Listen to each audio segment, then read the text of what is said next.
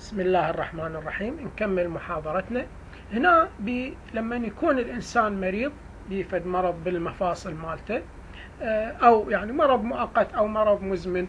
الحقيقة يكون سطح الكارتريج سطح الغضروف يكون خشن وأيضا يتعرض قد يتعرض إلى تشققات. هذا من يصير بتشوه بمرض يعني الحقيقة أسبابه هواية سوء التغذية إجهاد مستمر قلة النوم.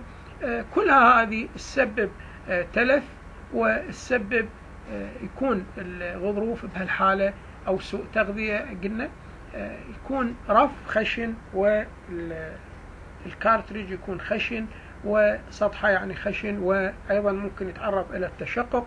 وبهالحالة ال synovial fluid ممكن أن من يكون خشن وممكن أن يعني يتعرض للتشقق. ال pores اللي بيه ال pores اللي بيه اللي هي المسامات اللي بيه ممكن أن تسمح بخروج آه، ال hyaluronic acid يعني جزيئات ال hyaluronic acid ممكن أن تخرج وبالتالي بهالحالة راح يفقد آه، مرونة مرونتة ال cartilage راح يفقد مرونتة وبالتالي يسبب آه، احتكاك وتلف يعني في نهايات العظام ويسبب آلام للإنسان.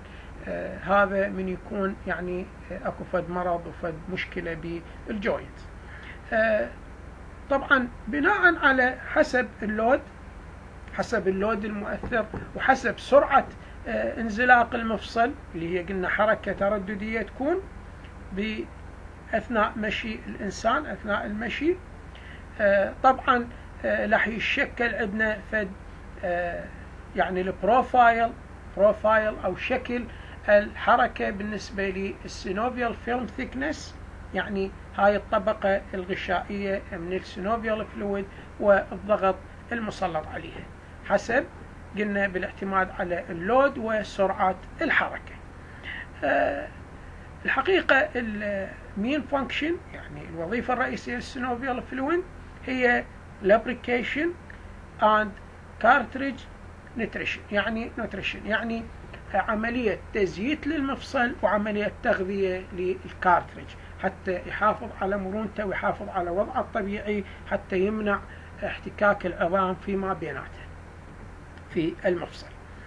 آه، اللبرسن هسه نجي على تعريف اللبرسن اللبرسن هو مادة surface active mucinous يعني mucinous آه، يعني مادة مخاطية فعالة على السطح وتكون من ال glyco ال glycoprotein آه، تكون محفوظة في ال synovial joint وتلعب دور مهم بحيوية وديمومة ال cartilage. تلعب دور مهم تكون محفوظة بال synovial joint آه هذه ال lubricin مثل ما عرفناها surface active mucinous يعني مادة مخاطية فعالة على السطح على سطح ال cartilage وتكون متكونة من ال glycoprotein آه هذه الحقيقة آه بالأشخاص الأصحاء يعني لما يكون ال joints healthy سليم. ال lubricin molecules coat the cartilage surface تغطي تغطي آه، يعني جزيئات. ال lubricin تغطي سطح ال cartilage وتنتج طبقة تنتج providing boundary lubrication and prevent uh, preventing cell and protein addition. يعني تنتج لنا طبقة من التزييت السطحي اللي يمنع تلاصق تلاصق البروتينات تلاصق آه، الخلايا والبروتينات المكونة للكارتريج يعني تكون عملية تزييت مستمرة لسطوح ال cartilage هذه مادة ال lubricin عملية التزييت ال lubrication تعتمد بصورة أساسية على light irregularities. يعني شنو light يعني التشوهات الخفيفة اللي تصير بال joint أو عدم الانتظام بشكل ال joint هذا عدم الانتظام الحقيقة.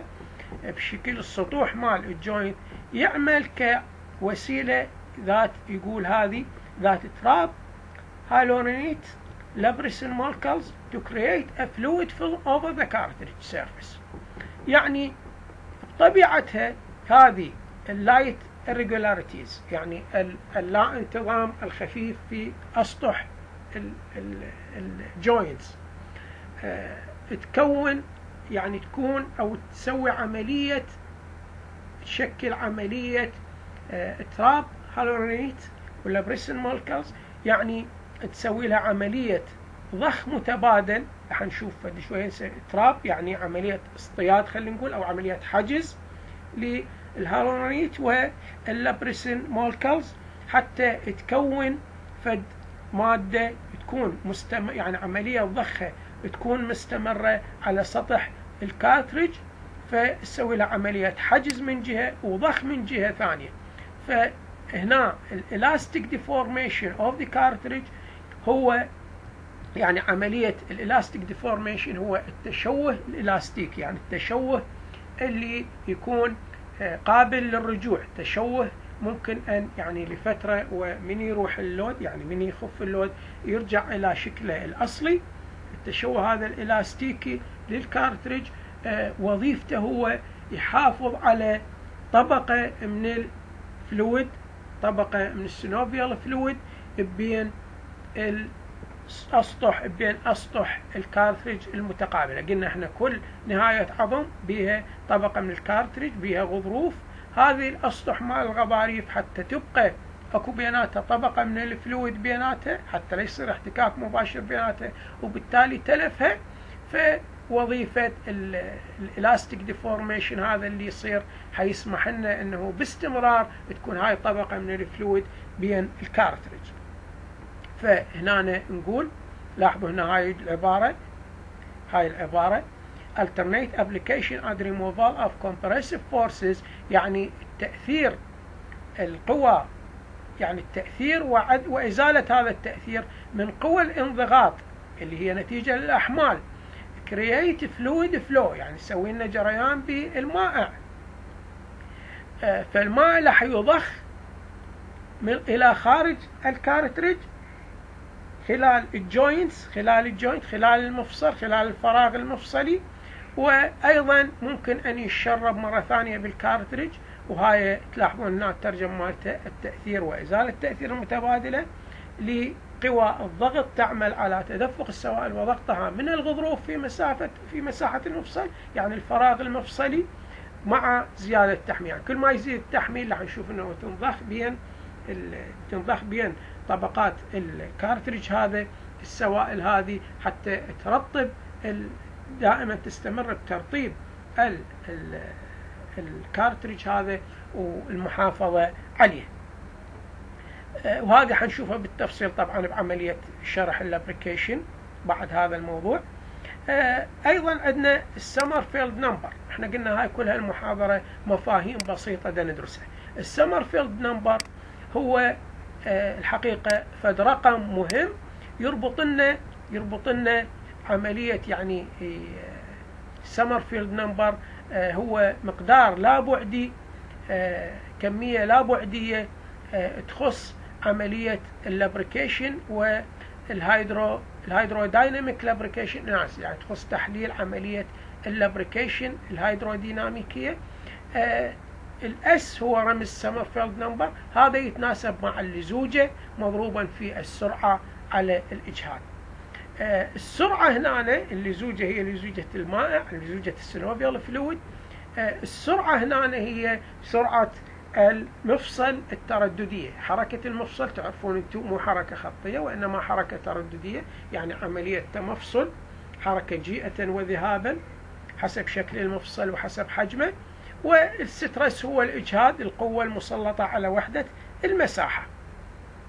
ال lambda value ال lambda value هذه أيضا من المفاهيم المهمة. ال lambda value تعريفها هي آه، نرمز لها بهذا الرمز lambda fluid thickness على ال surface roughness fluid thickness على ال surface roughness يعني خشونة السطح سمك ال fluid على خشونة السطح وال lambda ratio ال lambda ratio هي minimum film thickness in relation to the composite surface roughness اللي هو ال RA1 وال RA2 يعني قلنا ال RA1 هو ال arithmetic mean arithmetic mean deviation لل roughness وال R2 طبعا يعني لل لالتقاء العظمين بالنسبة لي يعني ال cartilage اللي يحيط بالعظمين. ال RA1 هو للعظم الأول وال RA2 هو للعظم الثاني. يعني الغضروف المرتبط بالعظم الثاني. ال critical lambda value for reduced friction يعني حتى يقل الاحتكاك أقل ما يمكن لازم يقل لازم تكون ال lambda value تقريبا ثلاثة. يعني نسبة ال fluid thickness إلى ال surface roughness لازم تكون بحدود ثلاثة. هاي ال critical value إلها. ال rougher surface with higher asperities requires a thicker fluid film يعني بال artificial joints الجوينات الصناعية اللي يزرعوها يعني المفاصل اللي نزرعها صناعية مفصل صناعي من يزرعوه ال lambda value عادة تكون أقل من ثلاثة أقل من ثلاثة. عفوا هذه عادة آه، ال lambda value تكون إلى أقل من ثلاثة. آه، مثل ال metal on metal وال ceramic on ceramic. هذه المفاصل الصناعية. آه، لما توصل lambda value ثلاثة هذا معناها إنه